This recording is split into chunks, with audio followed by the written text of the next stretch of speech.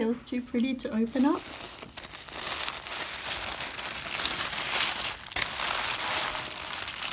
Oh, wow.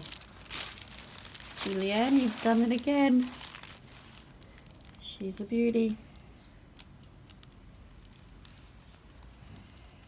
Lovebird Lane is local to me and I bought her Christmas colorway last year and loved it and I'm very very happy about this year's as well. So it's the mulled wine. With a pretty progress keeper.